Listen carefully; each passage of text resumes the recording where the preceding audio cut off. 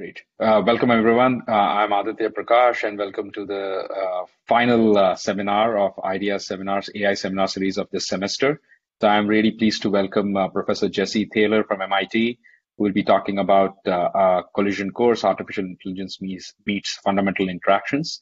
So Jesse is the inaugural director of the NSF AI Institute for Artificial Intelligence and Fundamental Interactions.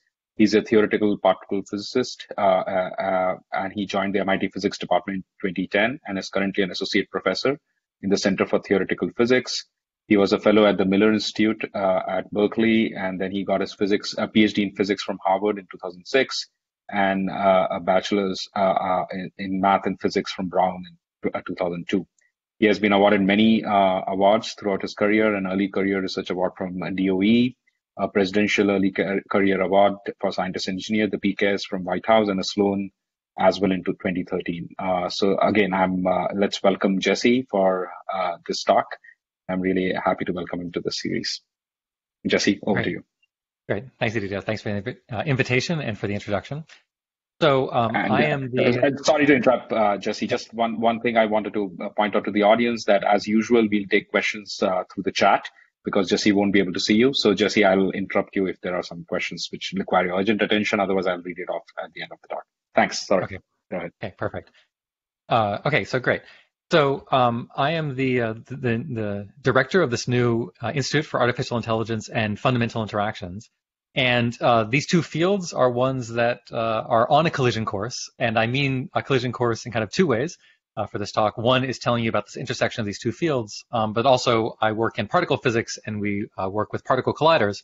And I'm going to be telling you a little bit about what we do in particle collisions as an example of this intersection of these two fields. Um, so uh, first, uh, just to give you some uh, more information about this institute, so the NSF AI Institute for Artificial Intelligence and Fundamental Interactions, uh, it has an unpronounceable acronyms, but we've been calling it IAIFI.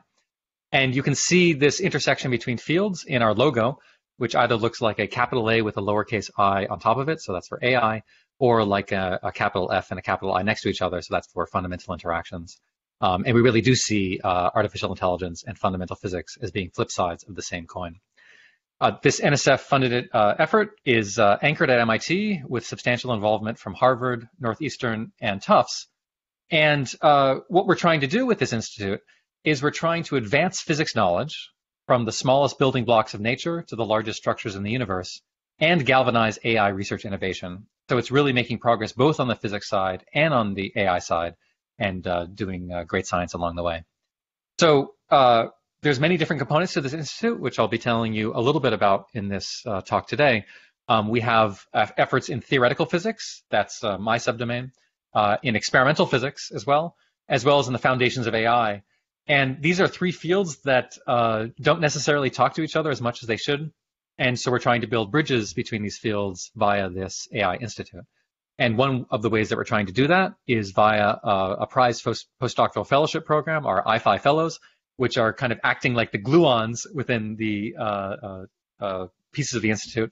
So on the left-hand side, this kind of red, green, and blue blobs, this is the way that particle physicists represent a proton with the blobs uh, being kind of like the quarks of the institute, and then the gluons are the glue that tie together the various elements and uh, bind us into a more complete whole. So there's many uh, aspects of our institute. We have training, education, and outreach at the physics AI intersection. We're aiming to cultivate early career talent, um, basically people who would might be deciding between a career either in the physics or more on the computer science side. Uh, and this program allows uh, those folks to actually pursue both interests simultaneously uh, fostering connections to physics facilities and to industry. And then something that I'm most excited about is for us to build strong multidisciplinary collaborations and advocate for shared solutions across subfields. And in putting this institute together, um, it was remarkable to me how much uh, different uh, areas uh, actually uh, share common uh, goals. So, for example, in particle physics, what I'm going to be talking about today, our goal is to analyze collision debris and there's uh, a number of senior investigators in our institute uh, focused on particle physics and understanding collision debris.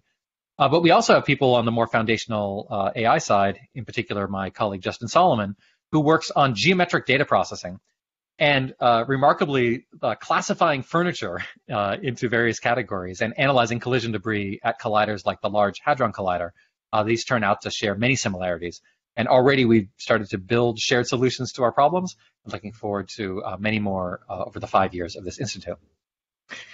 So let me give you a little bit more background uh, about uh, fundamental physics. Um, uh, so uh, I'm going to try to start as basic as basic as I can. Um, so the pillars of fundamental physics, on the largest scales, we have Big Bang cosmology, which explains how the universe started in a hot, dense state and evolved primarily under the influence of gravity to the universe that we see today. Uh, Big Bang cosmology involves ingredients like dark matter, uh, dark energy, as well as radiation, uh, neutrinos, and a little bit of matter. And uh, this is one of the areas where there's exciting uh, uh, things going on in the physical sciences, trying to understand the origins of our universe and understand better this Big Bang cosmology, and in particular, what came before it. Uh, on the shortest distance scales of nature, we have the standard model of particle physics represented here in pie chart form. So in orange are the quarks of the standard model. In green are the leptons of the standard model. In blue are force carriers. Uh, these are the mediators of forces like the electromagnetic force, the strong force, and the, uh, the weak force. And at the center of the standard model is the Higgs boson, discovered at the Large Hadron Collider at 2012, and one that's uh, still undergoing uh, intense scrutiny to understand its role in uh, the dynamics of uh, the universe at the shortest distance scales. So we have the longest distance scales in nature on the left, the shortest distance scales in nature on the right. And uh, I would say that understanding these two pillars uh, has been a real triumph of human intelligence. And our understanding of how much dynamics is actually explained by uh, the forces of gravity, electromagnetism, the strong force, and the weak force is kind of remarkable. And we'd like to be able to translate uh, the lessons from uh, physical reasoning and translate them into uh, other contexts, uh, in particular into artificial intelligence contexts. Um, and hopefully you'll get a chance uh, in this talk to see an example of that at work. How is it that if you take physics concepts seriously, you can actually build new artificial intelligence systems that are more powerful than methods that didn't account for those physical principles? So the um, uh, just one thing to point out in the slide, um, my my research focuses on the strong force. Uh, the strong force is not necessarily something that everyone in this audience has, has heard about, so I'll be telling you a little bit more about the strong force uh, in explaining my research. Um, but I'm happy to tell you more in Q&A about uh, any of the things that are happening in our institute uh, re revolving uh, any of the forces of nature as well as cosmology and the standard model. Okay, so I'm titling my, my talk Collision Course, and this is a, a, title that I started to use in January of 2019. There was a workshop at the Aspen Center for Physics on theoretical physics for machine learning. And uh, what I started to realize around then uh, was that uh, there really was a collision uh, between two fields that we could exploit. So before I tell you about that, uh, let me explain this picture of what you're seeing right now. So here you're seeing uh, an image taken from uh, collisions of two protons at the Large Hadron Collider. Those protons are brought into collision. Something happens. Um, that could be dynamics within the standard model of particle physics, or it could be dynamics that actually points to some new physics. And from that collision, we get these sprays of radiation uh, coming out. And somehow we have to figure out from these sprays of radiation uh, what's going on at short distances in nature. And just to give you a sense of the scope of the problem, um, every 25 nanoseconds, uh, there's a new proton-proton collision that happens, and that's an enormous data volume that one has to sift through. In fact, it's such a large data volume that you're not even able to store um, uh, all of these images uh, to tape. You have to make selection criteria to decide which images are, are interesting to keep and which ones to throw away. Um, and then for each individual event uh, that you want to study, there are various data analysis strategies that one can pursue. And so the simplest one that you can see just by eye is that you have these clusters of, uh, of, of, radiation, clusters of particles coming from the central collision point. Um, and these clusters are what we call jets.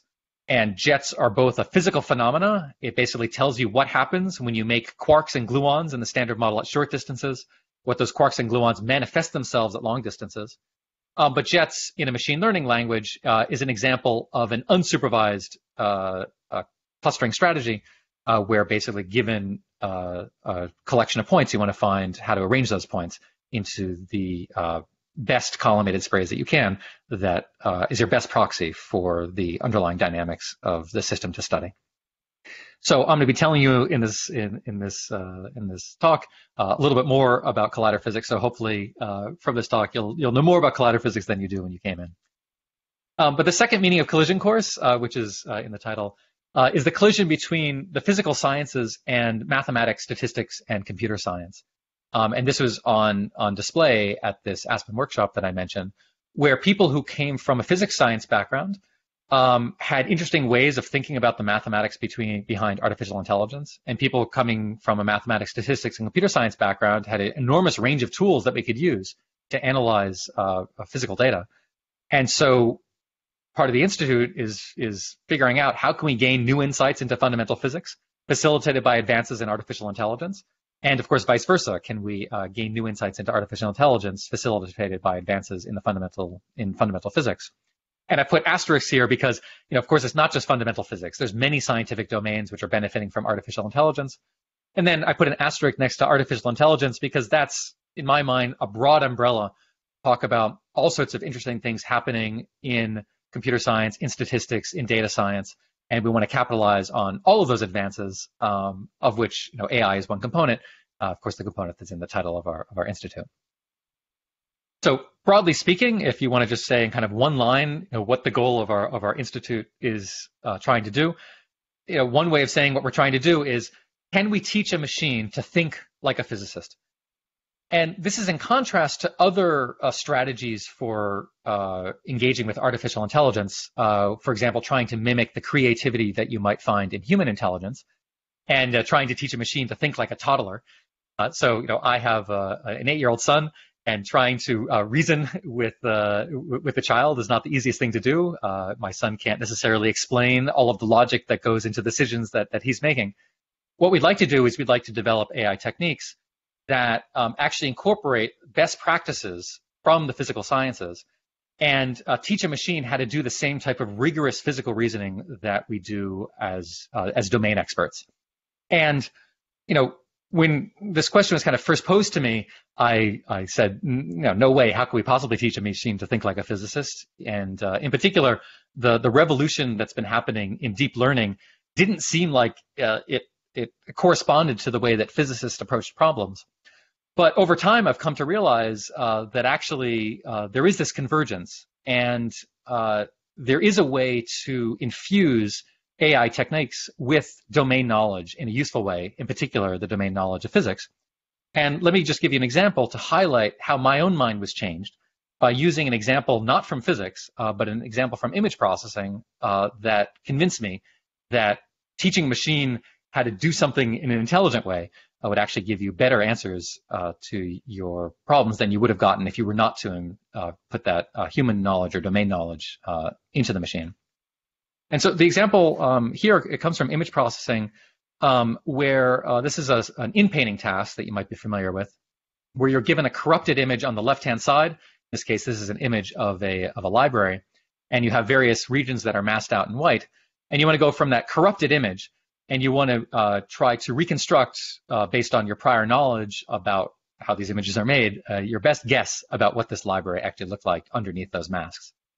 So the standard story that I had heard about deep learning and deep learning's ability to do this type of in-painting task is that one, we have increased computational power. And so you're able to um, just use that raw computational power to actually just do much better uh, kind of likelihood analyses, if you want to think about it that way, much better analyses than you could do with more limited computational resources. And then the other thing I had heard is that you need, you know, large data sets. So if you imagine having a billion pictures of a library, now, if you've seen a billion libraries, then you've seen them all, and you can use that to build up a prior knowledge about what libraries in general look like, and then use that to find what is the closest library uh, uh, uh, on the right-hand side uh, to the uh, corrupted one on the left-hand side, and that's your best guess about how to solve this in-painting task.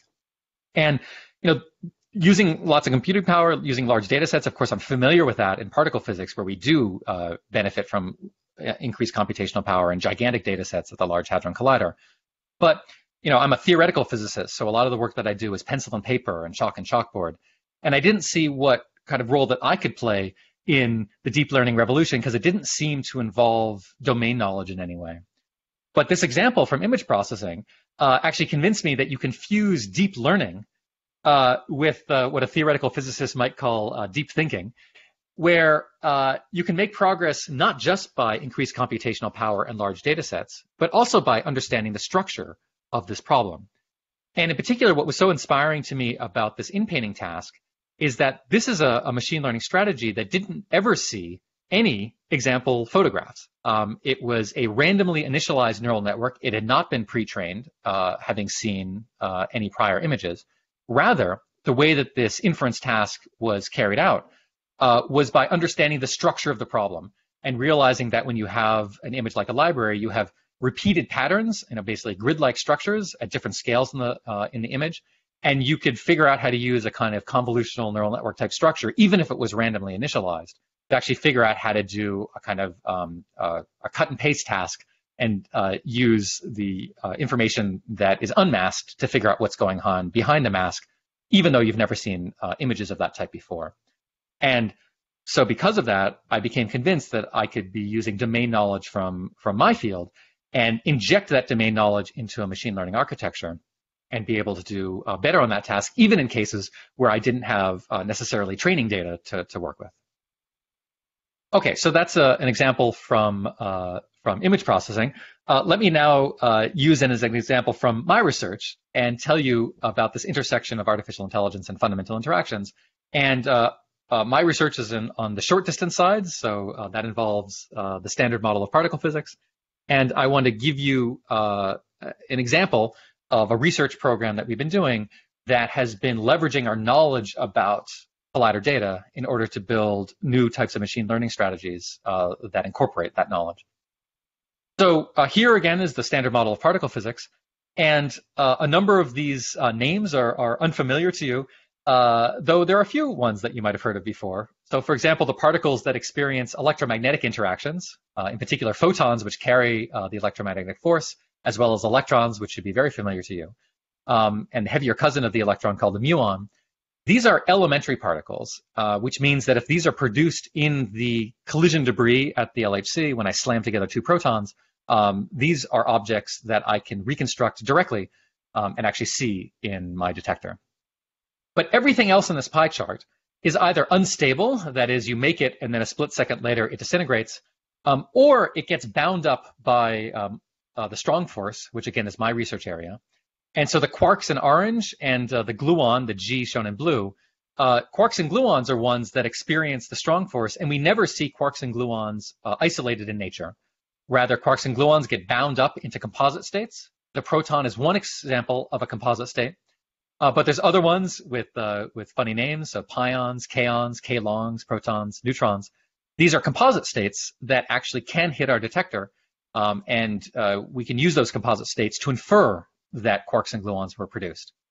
But this is a relatively limited palette of things that we actually see in our detector. Everything else about this pie chart, for example, the Higgs boson or the W boson or the Z bosons, fundamental particles whose properties uh, we've inferred from collision debris, you don't actually see them directly in your collision debris, Rather, you only see them via their, uh, their remnants in terms of the elementary and composite states that are long enough lived to actually hit your detector and be visible. So if that wasn't hard enough as an inference task to measure this collection of final state particles and reconstruct the structure of the standard model, it's even more complicated because you have to have these particles run into various detectors. And the detectors that we use in particle colliders are very heterogeneous. They have very different types of, of outputs, actually outputting at different time scales. It's actually a quite challenging uh, data reconstruction problem. And um, what we have is we have uh, tracking detectors that see uh, some particles, uh, calorimeters, uh, two different types of calorimeters that see particles. Uh, we have a specialized system dedicated to just detecting muons. And uh, what you end up getting uh, is these uh, collisions that look like this. Again, this is happening every 25 nanoseconds. You get a picture that looks like this. And somehow, from these various uh, tracking and calorimetry information, somehow you have to reconstruct the individual particles that are hitting your detector. And then you want to do, as I mentioned, these kind of clustering strategies to find out which of those particles are related to each other uh, uh, to form these jet-like objects, which act as proxies for uh, the fundamental quarks and gluons that you aren't able to see directly. So this is a, a very challenging data set to, uh, to deal with. On the other hand, um, the structure of this data set, if you think about it uh, in its most abstract form, is actually one that's quite familiar.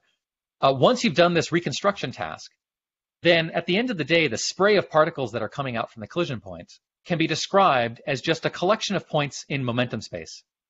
Uh, the particles have momentum in the x direction, the y direction, and the z direction, and they're all coming from this one central collision point. So uh, I can just think about these as being points in momentum space you know, somewhere between 100 and 1,000 points in momentum space for any individual uh, collider event. And that data structure, a collection of points in space, is one that's quite familiar to people who work in the machine learning or artificial intelligence worlds. Um, that's something that would be called a point cloud. Um, so typical point clouds that people talk about are collections of points in uh, in position space and typically in three-dimensional Euclidean space. Um, and that's the kind of uh, data that you would get from, let's say, a self-driving car with LiDAR point detection, where you have a collection of points that are in position in X, Y, and Z, uh, evolving in time. And it's maybe not so surprising that a number of the tasks that you'd like to do with a self-driving car have an analog in the collider physics realm. So, for example, you might want to solve a segmentation task where you want to find a collection of points represented by these boxes uh, that are actually corresponding to individual objects. So uh, that's the direct analog of, on the particle physics side, identifying these jets, these collimated sprays of particles, uh, and uh, trying to understand, uh, uh, you know, which clusters are kind of optimum uh, in terms of representing distinct objects in your collision event. In the case of these jets, you'd like to classify them. Did that jet come from a quark? Did that jet come from a gluon? Did that jet come from a W boson, from a Higgs boson? Well, that classification task, of course, on the uh, self-driving car side is saying, are these objects, you know, is that a bicycle? Is that a car? Is that a pedestrian? Clearly, that classification task is one that uh, you would like to get uh, get correct. And uh, some of the same uh, goals in self-driving cars of having reliable inference uh, as well as fast inference, those are things that are also shared on the particle physics side when we're doing collider studies. So you might think, oh, all I need to do is take all of the off-the-shelf uh, uh, point cloud uh, machine learning strategies and just use those for particle physics uh, uh, data analysis. And if that were the case, then there would be nothing fun for our Artificial Intelligence Institute to do. Um, but actually, we can use our domain knowledge, our knowledge about really what's going on in this particle collider to develop more robust AI techniques. And that's what I'm going to be telling you about using my own research as just an example of, of one case where you're just going to be able to see this uh, very clearly in action. And so to, um, to do this, I need to tell you just a little bit more about uh, this process of jet formation. So this is, again, what happens in the strong force when quarks and glu gluons bind together. So I start off with my proton-proton collision. Uh, as I mentioned already, protons are composite states. They're bound states of quarks and gluons. And when I slam them together at high energies, I liberate those quarks and gluons. Those quarks and gluons um, undergo a process called radiation. So just like electrons, when they move around, they generate uh, electromagnetic radiation. Quarks and gluons, when they move around, uh, they generate gluonic radiation. Um, and the, the key difference between the strong force and the electromagnetic force is that uh, in the strong force, uh, gluons can create more gluons, in the electromagnetic case, unless you're dealing with something like nonlinear optics, photons don't actually generate more photons. Um, those quarks and gluons, we don't see them directly. Uh, they bind together, so eventually the strong force becomes strong. Uh, and uh, as I go out from the collision point, those quarks and gluons uh, bind together to form these composite states that we call hadrons. So the reason why the collider is called the Large Hadron Collider is because we're colliding together protons, and protons are examples of that composite hadron state. Those hadrons hit my detector. I just described how challenging it was to, to figure out what's going on uh, in your detector.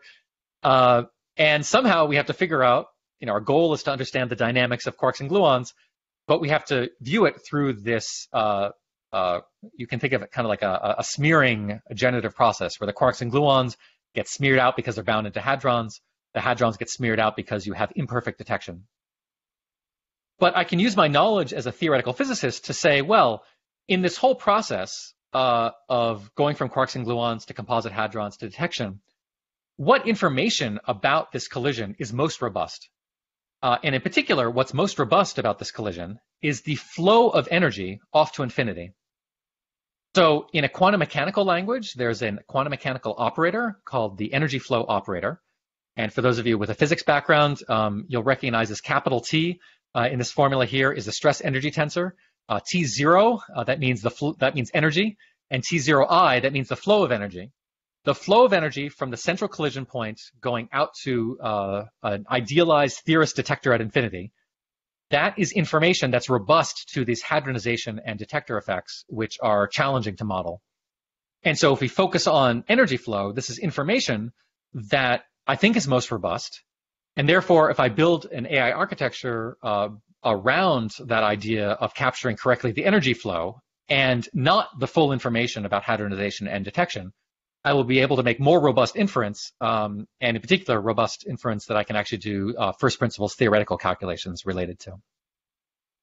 So this is an example of this collision course, a collision between uh, the principles of fundamental physics, in this case, this robustness of energy flow, um, which, uh, for those of you who, who uh, maybe know something about, about fundamental physics, uh, this energy flow concept, it comes from the field of quantum field theory.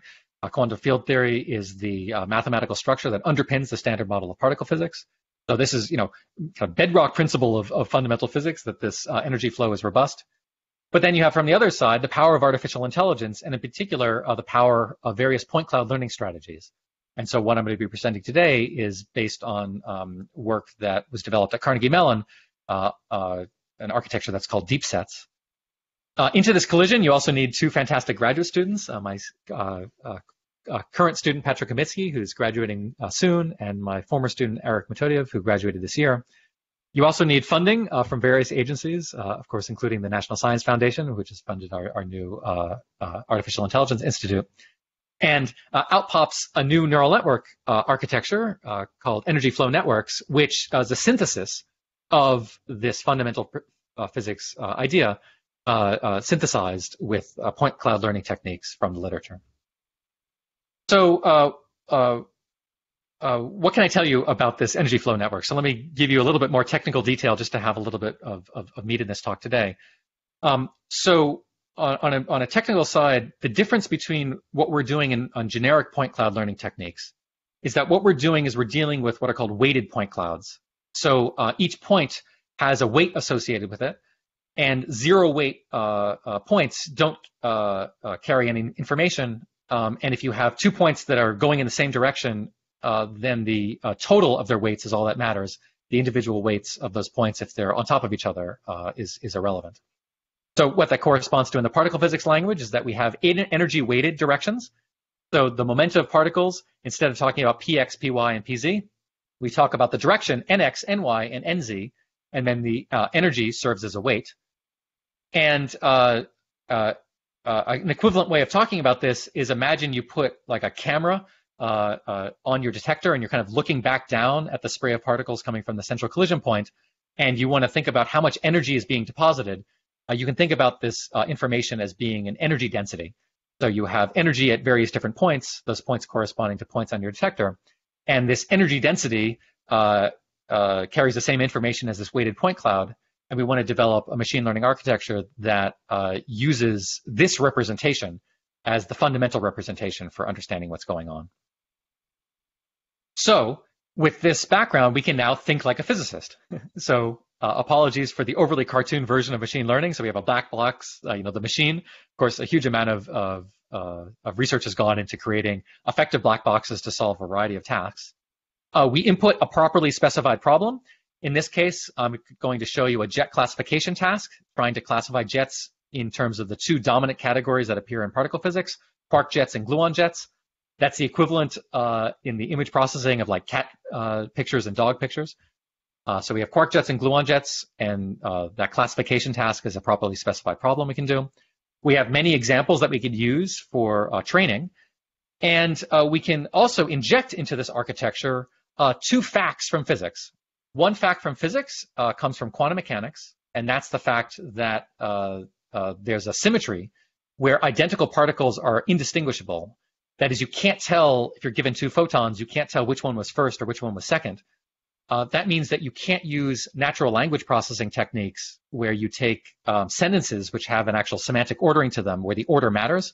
With particles, you can't do that. If you're given a collection of particles, the order in which you see them uh, carries no uh, information. Therefore, you need to have a permutation symmetry on your inputs if you want to do the learning properly. Uh, this uh, this energy flow concept or this energy weighting, uh, the technical name for this is safety, or even more technical, infrared and collinear safety. That basically says uh, that you want to make sure that your points are treated in this energy weighting case. And again, this comes from quantum field theory. We can inject both this permutation symmetry and this infrared and collinear safety uh, symmetry, if you want to think about it that way. We can inject that into the machine, get out a solution to that problem that I want to solve. But if I really want to think like a physicist, and I want to reproduce the workflow that I do with, you know, my graduate students. You know, I'm not satisfied with my physics graduate students if they just give me a solution to the problem that they've that I've posed. Uh, I want to find some way of verifying that they've actually carried out that analysis in the correct way, and building an architecture that actually has verification built in and the ability to check that the answer is physically sensible. That's one of the things that uh, we want to make sure that we do as part of this institute uh, uh, because this is one of the key things that uh, one does in the in the physical sciences is this verification and uh, quantification of uncertainties. So uh, let me give you the equation that actually describes uh, these energy flow networks, and it's actually quite simple. when I first entered into this area of machine learning and artificial intelligence, I, I expected things to be very complicated. And while there are many complications associated with neural networks and their training, um, in terms of encoding some of these symmetries, it turns out to be relatively straightforward, at least in this case. So I'm going to uh, solve my problem acting on jets. I'm going to solve it in a kind of uh, two-stage process. The first thing that I'm going to do is I'm going to look at individual particles. So that's what's represented by this phi function on the um, on the right-hand side here. This phi function, there are multiple of these phi functions labeled by A, and that phi function takes in information about the directions that the particles are going. It gets multiplied by the energy of those particles, and then I sum over all particles in my uh, in my jet that I want to study. And that sum operation has the permutation invariance that we need, and this linear weighting uh, in energy. This allows us to do uh, deal with this energy flow or deal with this this safety. And remarkably, uh, uh, if I specialize uh, this Carnegie Mellon paper on deep sets and specialize to this case with this linear, linear energy weighting, you can actually prove that this functional form uh, describes any safe observable. Uh, and it turns out to have excellent jet classification performance, you know, basically state-of-the-art performance uh, with fewer parameters than um, other methods that are in the literature. Now, I've, I've hidden the neural networks that are baked into this phi function. I've also hidden the neural networks that are baked into this f function. What this f function does is it synthesizes uh, all these VA functions and synthesizes that into a final solution. Um, and maybe that letter V is suggestive. Uh, that letter V uh, stands for verification. And I can verify uh, that the machine is doing something sensible by looking at this internal representation. Uh, we often call this a latent space. Um, look at this latent space representation of a jet and try to figure out if that latent space representation carries the physical meaning that we want. So for people who are familiar with convolutional neural networks, this is similar to trying to plot a filter activation function. Uh, in this case, I'm actually just directly plotting what this verification function looks like. And you think about this verification function is basically asking the machine, hey, what part of the uh, flow of energy were you focused on? And in the uh, uh, pictures that I'm going to show momentarily, you're going to see a representation of what the machine has learned to do uh, for a particular jet classification task and what information it thought was important for solving that problem. And what we're going to see is that the way that the machine looked at that information is one that has physical meaning. So again, I've already put in physics here. I've already put in the energy flow concept. I've already put in permutation invariance. I've already capitalized on the machine learning advanced on the CS side of this deep sets architecture from CMU. Now I want to see, has the machine learned additional physical principles uh, uh, in the way that it's approached to solving uh, this jet classification task? And uh, what's really cool is that this visualization, it's uh, kind of psychedelic. Uh, but this is a representation of what the machine learned, and I'll try to walk you through this. So again, what I'm trying to do is a very simple binary classification task. Tell the difference between sprays of particles coming from quarks and sprays of particles coming from gluons.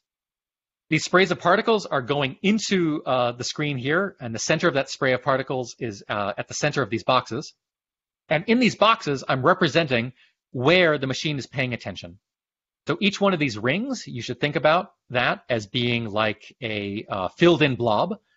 And what you can see uh, is that the machine uh, has decided to pay attention to small blobs near the center, near the center of the jet, and larger blobs near the periphery of the jet. Um, and uh, the number of these V functions, the number of these verification functions, basically gives you a sense of the resolution that the machine has in order to try to reconstruct this jet. So we start off with a latent dimension of 8, then 16, then 32, and 64. And you're already trying to starting to see that the machine has learned very interesting patterns. Um, these blobs are arranged in a in a uh, uh, in a symmetric way around the uh, central point. That is, if you go around an azimuth uh, around that central point, you see that it's basically paying attention to information in a, in a uniform way going around in the circle. Um, but you also see that it's paying attention to information uh, at the center with, with finer resolution than at the periphery. And if I go to the kind of scaled out full, uh, you know, most psychedelic image, there's kind of like the self-similarity fractal structure that you see. And this fractal structure is not an accident. This fractal structure is the known fractal structure of the strong force um, uh, something that, again, is part of my own domain knowledge. So without me telling the machine that fact, by just telling it some baseline facts about quantum field theory, it actually, in some sense, inferred this other fact about quantum field theory, that there's this logarithmic scaling of information as you go towards the central uh, part of this uh, of, of the jet. So the machine has figured out the scaling of the strong interactions. Um, and so, uh, just to give you some jargon, uh, the scaling uh, is called uh, Altarelli-Parisi uh, scaling. It's or, or DGLAP evolution is another way that it's called. Um, it's been known since the 1970s. It's the kind of things that are in particle physics textbooks, and it's just completely amazing to me that the machine figured this out. So um, the way that you would you would infer this is you'd say, okay, take these blobs, say what's their radial distance from the center of the jet, and what is the size of the kind of blob or pixel that it reconstructed. And you can then find a scaling relation. And if you had exact Altarelli-Parisi scaling, then you would get a slope of 2. Uh, the fact that you get a slope of 1.6 here is because of, of, effects that we actually understand from the particle physics side. Um, and uh, knowing the scaling, you can actually come up with an even more psychedelic uh, representation of the information. This is basically logarithmic scaling going to the center of the jet. And if I uh, do a, uh, a, projection of the psychedelic image into the space where uh, I basically undo that logarithmic scaling, uh, you get this kind of uh, you know, Jackson Pollock-esque image here that's showing that the machine has figured out how to pay attention to information in a uniform way, but not uniform in the way that a standard convolutional neural network would pay attention to things, uniform in this logarithmic space. And the fact that you see kind of uniform pixels uh, uh, in this in this representation here is evidence that the machine has really picked up on a key feature of the physics problem. And now we can take this key feature, bake it back into our machine learning architecture, and then see what we could, we could learn next from it. Uh, but this is an example of teaching a machine to think like a physicist, and it responded by actually learning something cool. It learned the fractal structure of the strong force. Now, the fractal structure of the strong force is something that's already known. And in backup slides for people who are interested, I can actually show you something new that it taught us that's uh, even more technical than what I said already. But I hope you this gives you kind of a flavor of the type of reasoning that we're doing uh, in my research program, and then we want to uh, push out to this institute as a whole of uh, of incorporating uh, domain knowledge, and then from that, uh, both relearning things that we already know, but in this machine learning lens, uh, but then also using that to discover things that we didn't know about our data sets. And uh, just to, to, just put a punctuation mark on, on, on this point, like this collision course is not just this example that I showed you here. Uh, gaining new insights in fundamental physics facilitated by advances in mathematics, statistics, and computer science. Uh, in just in my own research group and with my students Patrick and Eric, we've seen incredible connections. Uh, so, for example, uh, there's a field uh, of machine learning called blind source separation, where you're trying to learn from unlabeled data sets. And uh, leveraging that idea of blind source separation, we actually were able to define in a rigorous way actually something that's a little bit ambiguous, uh, even from the perspective of quantum field theory, namely, how do you define in a rigorous way what a quark or a gluon actually is? It turns out that a half century of collider physics data analysis strategies uh, can be translated into the language of optimal transport.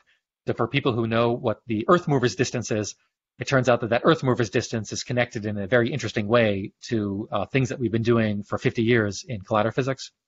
And then even fields like graph theory turned out to be highly relevant. Um, and this is an example of the vice versa kicking in, uh, where uh, we actually had a problem in collider physics that we could translate into a graph theory picture and understanding the collider physics actually allowed us to uh, extend an entry in the online encyclopedia of integer sequences about a particular property of graphs and actually extend that, again, using information from the physics side to actually just answer a simple question about graph counting. And all these examples that I've been doing with my students, this is just an example of progress being driven by early career talent with cross-disciplinary expertise. Patrick and Eric had a computer science background that they brought into the physics uh, realm, and this is something that we think is, is, is quite powerful. And now they're able to take their physics knowledge and then push it back out uh, into, uh, into, for example, industry applications. And trying to reproduce uh, th th this story that I just told you, in some sense, that's what this NSF Institute is all about.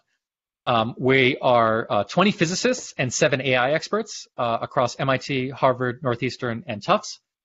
And part of our excitement about this institute is that the Boston area really had a critical mass for uh, transformative research at the intersection of, of fundamental physics and AI. Um, at MIT in particular, it involves people working on many, many different fields. Uh, and even though we're all at the same institute, uh, we are, uh, as, as, is true of many places, you know, in our own silos. Uh, this uh, this institute gives us an opportunity to see the commonalities in our ways of approaching problems. And I, am really excited to see what happens when you take uh, physicists and AI experts, put them together in a room, and and seeing what types of new solutions come out. Um, we've been calling uh, this internally, uh, this research, we've been calling it ab initio uh, AI research or AI squared. So what do I mean by ab initio artificial intelligence? Well, uh, artificial intelligence and machine learning strategies, that's, that's, that's pretty clear. But ab initio uh, means, you know, from first principles. And so machine learning that incorporates first principles, best practices, and domain knowledge from fundamental physics, that's what we're calling this ab initio artificial intelligence. And in this uh, example that I gave you already, um, I uh, invoked uh, the notion of symmetries, and I invoked uh, verifiability. Uh, and there's many other uh, first principles and best practices from fundamental physics that we hope to incorporate into the machine learning strategies that we develop. And I should also say that you know we're not the only ones thinking in this direction. Um, and even if you just go back to uh, you know let's say convolutional neural networks, one way of stating what convolutional neural networks are able to achieve in a in a symmetry language is achieving uh, what's known as translational equivariance or translational invariance, uh, which in the physics context is associated with conservation of momentum. Um, and baking in that translational symmetry into a CNN that explains a lot of uh, the power of CNNs in image recognition and image processing applications. In the case of energy flow networks, we took physical principles of the indistinguishability of identical particles from quantum mechanics, this infrared and collinear safety from quantum field theory in generating these cool psychedelic images, and this is just an, an example of AI squared. So AI on the ab initio side, a powerful strategy to analyze collisions at the Large Hadron Collider and try to understand the structure of the universe. AI on the artificial intelligence side, uh, uh, this is a point, an efficient neural network that can deal with weighted point clouds. You take those two together, and you have this example of cross-cutting research uh, that goes across uh, traditional uh, disciplinary boundaries. And uh, I gave you an example from particle physics here just as, as an example. Um, but our institute involves people working in a variety of different fields. Um, and what all these fields share in common is that they're extremely data rich.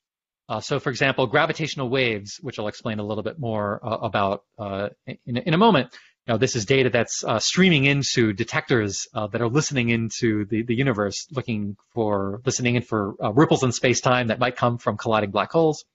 You have first principles nuclear physics calculations, um, uh, which I'll explain also a little bit more, where you have synthetic data, where you try to put the dynamics of quarks and gluons on a computer and try to infer nuclear properties from that. Uh, we have people in our institute working in astrophysics. I mentioned uh, particle colliders already.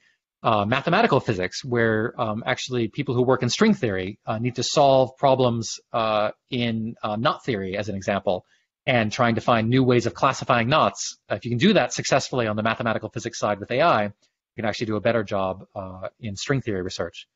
And then dark matter. Dark matter is a mysterious substance that uh, is responsible for a lot of the structure in the universe, even though we haven't seen it directly. And trying to understand the nature of dark matter, uh, we have researchers who are taking AI techniques uh, into that particular domain.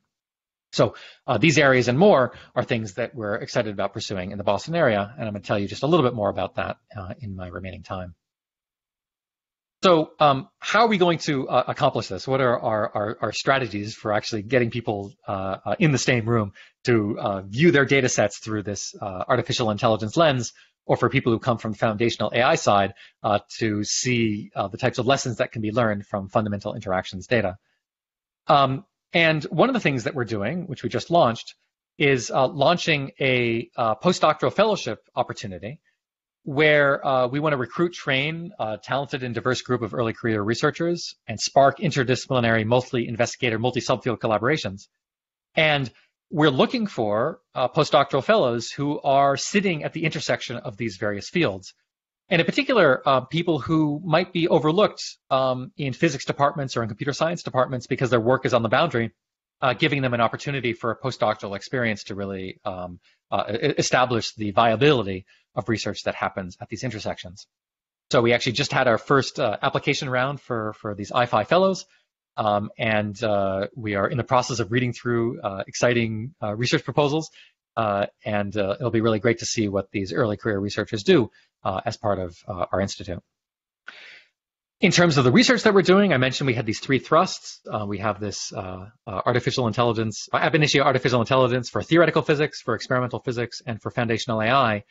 And this covers a, a wide variety of fields. And um, we decided that intellectual diversity was really important and that people working in disparate areas but coming together to use common um, uh, strategies and techniques that's how we decided to organize our institute as, as opposed to focusing on you know, one particular problem kind of the big problem that we're trying to do is define what do you mean by ab initio artificial intelligence what do you mean by teaching a, a machine to think like a physicist so I'll be giving you just three examples uh, in the next three slides. Um, uh, those are the ones that are color coded here.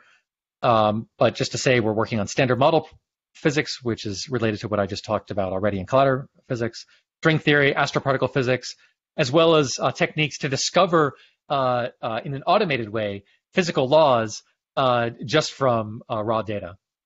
Uh, we have people working on particle physics experiments, again related to what I what I just talked about in my presentation, gravitational waves, which I'll describe more in a moment, as well as multi-messenger astrophysics. And then on the foundational AI side, this idea of incorporating symmetries and invariants is a very hot topic uh, in uh, in AI. Uh, uh, speeding up control and inference, basically figuring out how can you run uh, some of this uh, AI fast enough to actually be useful at these LHC applications where we need 25 nanosecond cadences. I'll mention a little bit about physics-informed AI architectures uh, as well as the theory of neural networks and trying to understand why neural networks generalize as well as they do using uh, uh, concepts from statistical physics to understand uh, the great performance of neural networks in terms of their, uh, their generalizability. So let me just uh, spend the next three slides just going through these three examples that are color-coded just to give you just a little bit more flavor of what we're doing. So in the standard model of particle and nuclear physics, here I'm going to give you an example from my colleague Phiala Shanahan of lattice field theory for nuclear and particle physics. So um, uh, I, I, gave you kind of a cartoon of the strong force, um, but I want to emphasize the equations governing the strong nuclear force are known precisely, but precision computations using those equations are extremely demanding. And if you just take all the open supercomputing resources in the United States, um, it's around 10%, a little bit more, that's actually devoted to numerical understanding or numerical calculations of the strong nuclear force and they're incredibly important um, in particle physics and nuclear physics. They're important, for example, for understanding uh, dark matter. Uh, so dark matter is a mysterious substance that might bump into nuclear matter, and understanding the response of nuclear matter is something that you need to do, and you can uh, gain insight into that by doing these numerical calculations. And uh, what my colleague Phiala did is actually collaborate with industry, with uh, Google's DeepMind, uh, to develop custom AI tools, custom generative models based on technique called normalizing flows that is able to achieve a thousandfold acceleration in a kind of a, a toy uh, lattice field theory calculation while preserving symmetries and guaranteeing exactness of the of the results in the uh, in the asymptotic limit. And so this is something that's absolutely essential if you want to do precision calculations to actually have guarantees of exactness as well as understanding of your uncertainties. And what's really cool uh, about this research is that even though this is aimed at nuclear and particle physics, the tools that they designed actually are relevant for interdisciplinary applications. And in particular, some of the uh, challenges for robotics, um, where you have joints that have uh, certain um, uh, uh, uh mappings, where if you go around uh, an angle by, by 2 pi, you get back to where you start. that's re related in a, in a fun way to some of the symmetries that you're trying to preserve in lattice field theory. Um, and this architecture is in fact relevant for robotics, even though it wasn't certainly designed originally for that application. So that gives you just a little bit of a sense of how a challenge in fundamental physics is, is relevant more broadly. Um, uh, we have uh, uh, ab initio uh, work in uh, experimental uh, physics, in particular gravitational wave interferometry at, at LIGO. Um, and so when two black holes merge, in some distant galaxy. Uh, their merger generates uh, gravitational waves that uh, ring out and hit detectors. Um, and this detection of gravitational waves was uh, awarded the, the 2017 Nobel Prize. Um, but this is a very challenging problem of uh, on many aspects. So once you collect this uh, data, basically the ringing that you hear from these black hole black hole mergers, you have to reduce noise and we have people in our institute working on reinforcement learning for noise reduction. You have to compare to theoretical calculations, and the theoretical calculations that you'd have to do are uh, extremely computationally demanding, and we hope that some of these techniques might actually speed that up. Um, and then, if you want to correlate the gravitational wave signature that you saw in one place and correlate that uh, with what you see elsewhere, for example, uh, with follow-up telescope observation, then you need to do fast inference. Um, and we have uh, people in our institute that are trying to take machine learning and put it on FPGAs uh, in order to make sure that this inference task can be solved as quickly as possible, such that you don't lose out on opportunities to do multi-messenger uh, astrophysics, where you can actually correlate black hole signatures, correlate that with neutrino signatures, correlate that with radio and, and optical and X-ray and so on. Um, and so fast decision making is something that's relevant uh, in our institute. And then uh, finally, just in terms of foundational AI, uh, a technique that appears in many disciplines, not just physics, is deconvolution. Um, and uh, we have researchers who are working on trying to uh, uh, uh, figure out from noisy data or from incomplete data, how do you do your best inference of what's really going on? And we think that the unique features of physics applications and the power, of these physical principles actually offer compelling research opportunities to advance the field of AI research uh, more generally. So, for example, one of my colleagues, Demba Ba, uh, works in a more neurosciencey direction uh, and trying to separate out neuronal uh, signals uh, using a technique that he's developing called sparse coding networks. And it turns out that this is relevant for trying uh, that the same kind of mathematics behind that is relevant on the more fundamental physics side of trying to image black holes and uh, an experiment called the uh, Event Horizon Telescope, actually multiple experiments that are all trying to image uh, the central black hole uh, at the central part of galaxies. Uh, they have to do this deconvolution task where they have incomplete information and they have to somehow reconstruct this beautiful ring uh, that you might have seen in the news corresponding to an, the halo around a black hole and reconstruct that as best as they can given limited information. And we can use and capitalize on physics priors and on interpretability of our methods for re- improved robustness. And uh, as I already mentioned before, another aspect of foundational AI is leveraging tools from physics to explain the ability of uh, networks to generalize and actually give you uh, robust answers to things like deconvolution, even though at a formal level, deconvolution is an ill-posed problem. So trying to understand why do neural networks work as well for tasks which might otherwise seem ambiguous. So that just gives you a sense of, of what we're trying to do in, in our institute and happy to take more questions about that. Uh, we have many other uh, activities in terms of uh, internal and external research engagement, workforce development, digital learning, outreach, broadening participation, knowledge transfer to industry, as well as shared resources, and happy to talk about any of those if people are interested. Um, but just to summarize, uh, uh, let me give you some talking points and then and then a last slide. So, you know, the talking points uh, that we want people to know about our institute. Uh, we think we have a compelling vision for the future of physics and AI research.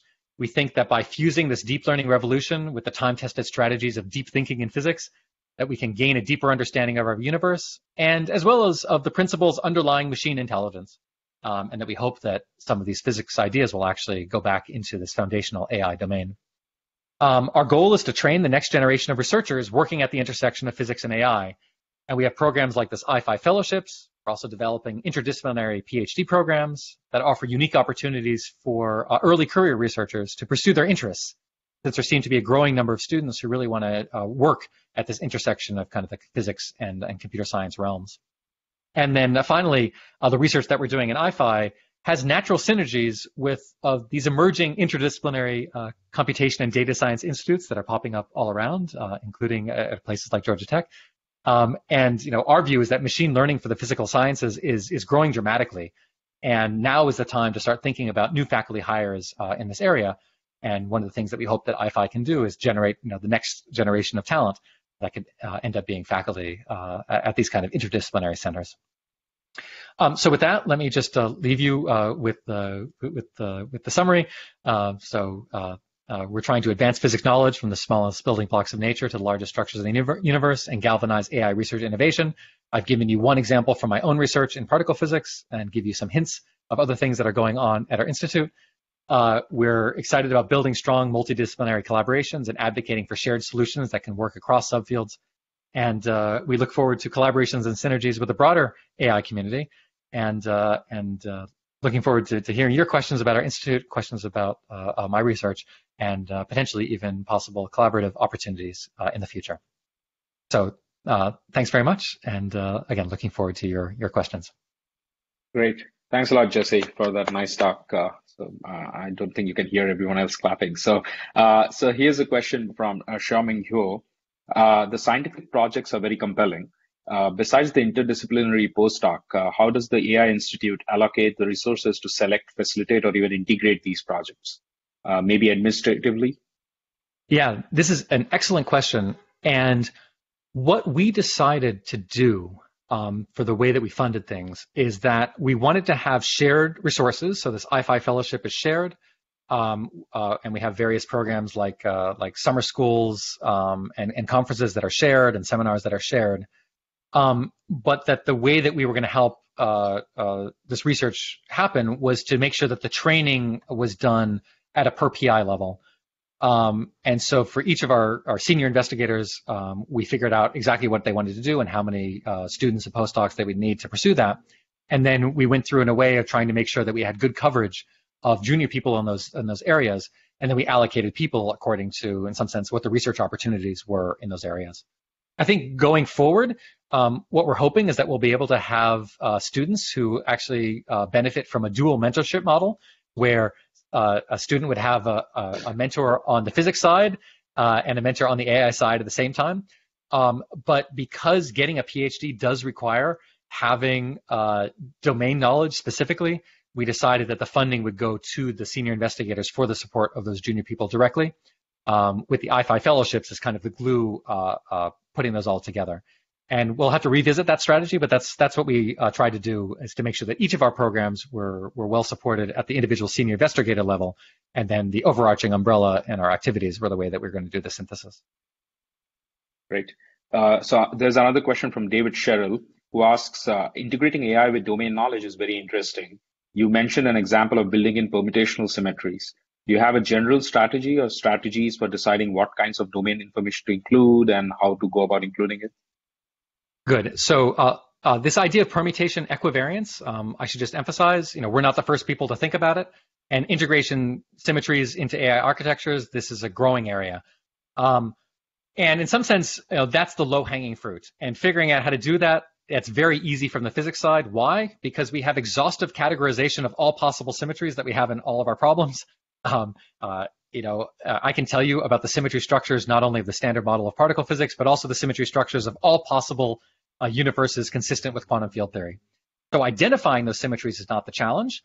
Um, and in fact, incorporating those symmetries uh, is not necessarily uh, uh that challenging um, uh, because of the advances that are happening in foundational AI uh, in that area. Of course, we still need to do it, and there's many symmetries that I rely on that are not yet in AI architectures. But identifying them, that's not where I see the, the, the main challenge. The main challenge here is that I have all these uh, things in gray at the bottom. Symmetries, conservation laws, scaling relations, limiting behaviors, locality, causality, unitarity, gauge invariance, entropy, least action, factorization, unit tests, exactness, systematic uncertainties, reproducibility, verifiability, you know, and, and, and it goes on. Like these are all the things that I do in my research program. These are all the things that I expect, you know, my graduate students to learn. And how do you translate these concepts into an architecture? Symmetries we know how to do, but but factorization, um, this is something where you basically say that certain physical processes can be broken into uh, uh, individual units that are synthesized together in a kind of a Markov chain-like way. How do you build an AI architecture that has that in there and that has factorization in the precise way that we mean it? That it's not a standard Markov chain, um, but it's it's one that's tied you know, specifically to, uh, to, to my domain. And uh, it's been really instructive for me to work with foundational AI people and say, look, here is the formula that I know is true. How do you build an AI architecture that satisfies that formula?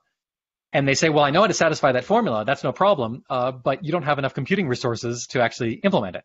And so then you say, okay, how do you, in an efficient way, implement my equation that obviously can't be the full one, so it only has approximate uh, uh, factorization, uh, sorry, exact factorization, but only approximate information uh, how do I do that? And that becomes a dialogue. So essentially, in terms of a strategy, the strategy has been marching through all the things that we do and asking for each one of those things we do, who in our institute might know of the analogy of that in the AI context, and then vice versa. If you have something that's useful in the AI context, what is the analog of that on the physics side? And it seems to be you get physicists and AI experts in the same room, and you just you know give them you know 30 minutes to just chat, and then just new ideas pop up. Um, and uh, that was certainly uh, uh, the case uh, in um, this example in the middle here, uh, where I talked about a half century of collider physics coming from this field of optimal transport. I knew zero about optimal transport. Then I talked to my AI friends. They tell me, oh, by the way, your data looks like something that uh, I look at. And then I look at their equations and then I realize, wait a second, your equations look a lot like our equations. And then it took us a couple years to figure out the translation, but then once we did, there was a lot of uh, a lot of gains. Um, so I didn't really answer the question, uh, but it's it's getting people in the same room and just articulating what those uh, best practices are, and then trying to find that translation. That's been the strategy that's been effective thus far, and we'll see how long, how far that takes us in the future. Great. So uh, maybe I had a final question. So, and I think you're the right person to ask, given that you're a theoretical physicist. And uh, yeah. I mean, so a lot of people talk about this AI being able to discover laws directly mm-hmm. from data. So, mm-hmm. what what do you see as the uh, uh like is that is that uh, in the near horizon or or it, it's it's a more long term uh, right, right, vision, right. I guess. Yeah, yeah, yeah. Good. No, excellent. So um, one of the things that I want to want to emphasize uh, here, uh, let me just scroll back to the to the slide where I had this, um, is that uh, uh, oops, not letting me. It's not letting me go. One second. There you go. Um, that the input that we need is a properly specified problem. So when you say, I would like the machine to learn in an automated way, you know, fundamental physics laws, that sounds crazy and indeed, it is crazy unless you can come up with a properly specified way, a properly specified problem whose answer would be the laws of the universe. So let me give you an example in quantum mechanics. Um, uh, uh, there's this famous blackbody radiation spectrum, which is a consequence of, of quantum mechanics. Uh, that basically says, you know, you turn on an oven at a certain temperature and the radiation comes out has a very particular uh, uh, frequency spectrum. Um, and it comes from quantum mechanics. And if you gave me all the data in the world on the black body spectrum, how would I ever uh, learn the uh, the laws of quantum mechanics? And I would argue that you can't.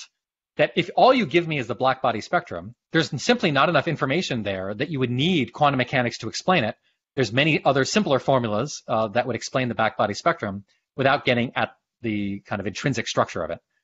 But then you go and you go to chemistry and you know atomic orbitals and and, and binding. Uh, and there uh, you uh, uh, you know have various tools for for understanding those those chemical properties, and and those those tools ultimately trace themselves to quantum mechanics. And so, if I only had chemical data, also I'd have a, a difficult time, uh, you know, inferring the structure of quantum mechanics. And somehow you need both. You need both information about the black body spectrum. You need information about chemistry. Uh, you need uh, uh, uh information about, for example, superconductor or sorry, semiconductors. Like there's there's all sorts of different types of data sets that you would need, and then asserting that they all had a common origin in quantum mechanics. That's the thing that you'd want to learn. Learn from many many example datas, and then try to find an underlying kind of principle. If you can turn that problem into a properly specified optimization problem, then you might hope to to uh, to to, to, to learn those underlying physical principles. And so for the people who are in our institute who are thinking about automated learning of, of physical principles, what they're doing is they're saying, what does it mean to discover a new law?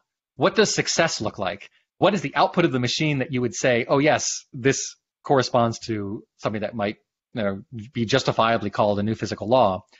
And then trying to say, okay, then how do you turn that into an optimization task such that you can have alternate laws that aren't as good, and then the best one is the one that is somehow most simple, uh, explains the most data, um, uh, you know, uh, uh generalizes in the appropriate way, uh, has has uh, more symmetry or whatnot to it, um, and coming up with rigorous definitions of what a physical law is. This is part of the deep thinking. And this fusion of deep learning and deep thinking, first the deep thinking, specify my problem in a rigorous way, and then it comes the deep learning of having specified that problem in the in the rigorous way, then take these AI tools to actually solve them in uh, ways that are better than what a human could do. Great, thanks a lot, Jesse. Fascinating. Uh, so uh, I, I, think uh, we are already over time, so this is a good time to end. And th- thank you again, Jesse, for helping us end the uh, semester's uh, last seminar series on a strong note. so see you everyone next semester, and good luck, Jesse, with your institute. Take care. Thanks so much. Bye bye.